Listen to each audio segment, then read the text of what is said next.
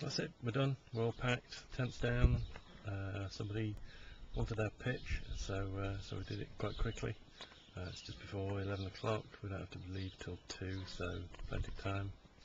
We may have a last go down on the beach. Uh, the car's full. So look at the car.